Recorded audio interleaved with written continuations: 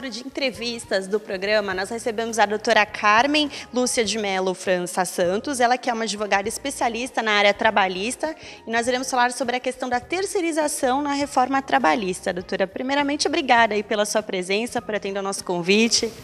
Obrigada, Nathalie. É um enorme prazer estar aqui com vocês. Doutora, explica um pouco sobre qual é a proposta desse projeto de lei da terceirização.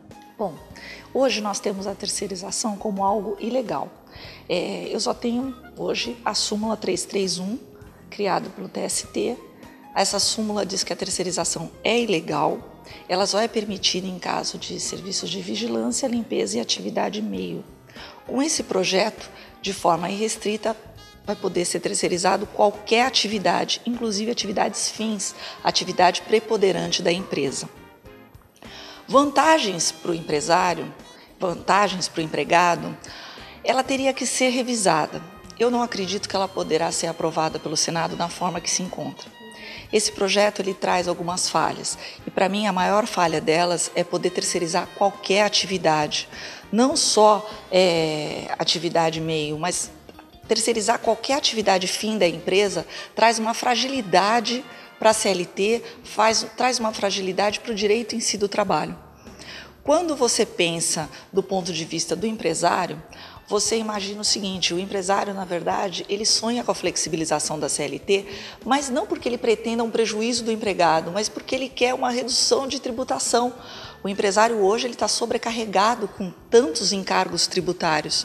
Então, o que ele almeja, na verdade, é essa diminuição de tributação, de diminuição de encargos que o empregado traz. O empregado hoje numa empresa sai três vezes mais do que o valor que ele recebe de salário.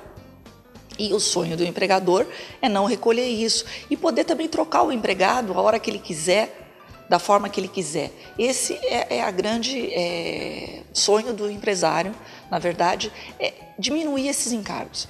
Em contrapartida, o empregado ele deseja uma segurança no serviço. Ele quer trabalhar para uma empresa, ele quer ter o mesmo salário dos demais, ele quer saber que empresa que ele está trabalhando, ele quer entrar hoje e sair amanhã na mesma empresa e não é, variar cada dia numa empresa diferente. Então, isso tudo tem lados bons e lados ruins. O empregado ele tem os mesmos direitos é, da legislação trabalhista? Bom, se a gente fizer um paralelo hoje da súmula 331 e do projeto lei, o que, que acontece?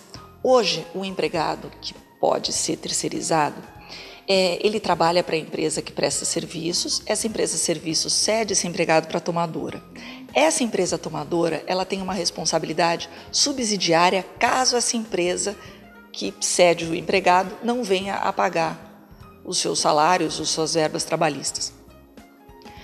Com a nova lei, como funcionaria isso? No projeto lei eles dizem o seguinte: a empresa tomadora ela tem a responsabilidade de fiscalizar essa empresa que cede o funcionário. Se ela fiscaliza, a responsabilidade é secundária. Se ela não fiscalizar, a responsabilidade é solidária. Então, isso traz, segundo o projeto lei, uma certa harmonia para o empregado que está sendo terceirizado, uma segurança maior. Só que, para mim, isso não me convence, tendo em vista que a súmula já prevê uma responsabilidade em legenda e vigilando do tomador. Então, ela já existe de forma indireta. E ela está aí, tanto que todas as vezes que se processa a empresa cedente, se empresa a, a tomadora também e ela se responsabiliza no caso de inadimplemento da primeira. Doutora, as empresas que terceirizam, né, de acordo com esse novo projeto, terão que se responsabilizar por um capital social. Como é que você vê isso? É, eu acho um lado positivo até na PL, pelo seguinte: é, a maior falha que existe hoje é essas empresas que terceirizam, muitas vezes elas são empresas que não dão suporte para o empregado e na maioria das vezes elas quebram, você não acha mais, você não consegue bens de sócios, você não consegue nada. A PL ela diz o seguinte, que a empresa que terceiriza ela vai ter que se responsabilizar por um capital social. Então, por exemplo, se você tem 10 funcionários, você tem que ter um capital social de 10 mil, 25 funcionários, um capital a partir de 25 mil. E aí vai até um capital social de 250 mil. E mais, o sindicato ainda pode negociar através de convenções coletivas para que a empresa se responsabilize por até 50% do seu capital social. Com relação aos empregados. Isso traz uma garantia.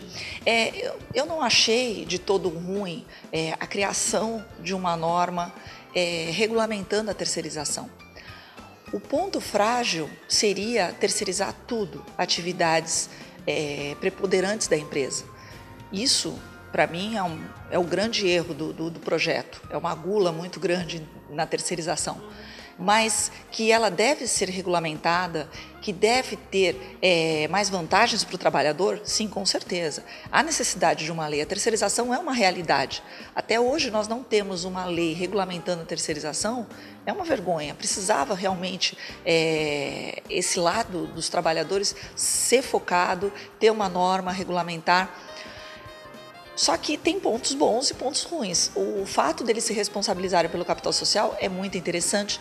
Tem outro lado, Nathalie, que eu também acho extremamente interessante, é que as empresas, isso não é uma obrigatoriedade, mas elas poderão né, se responsabilizar é, por tratamentos médicos, por vale transporte, que são coisas que o vale transporte é obrigatório, se ele, se, necessita, se ele necessita realmente desse vale transporte.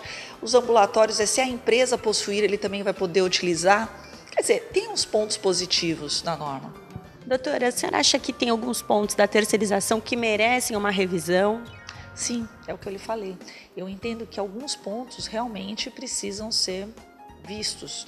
É, aprovar como está seria um atraso para os trabalhadores. É, talvez o anseio que os empresários procuram também não venha da mesma forma que eles estão imaginando. Essa responsabilidade vai persistir e eles vão continuar com esse fardo. Não há uma isenção total e falar, olha, eu realmente não vou me responsabilizar mais por nada, que é o grande anseio.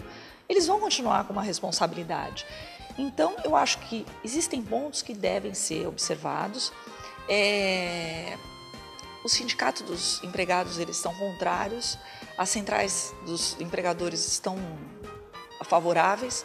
Há um, um, uma divisão de águas e eu entendo que deve se analisar isso com muito cuidado para ninguém sair prejudicado. Doutora Carmen, obrigada aí por todos os seus esclarecimentos. Ah, imagina, obrigada a vocês pela oportunidade.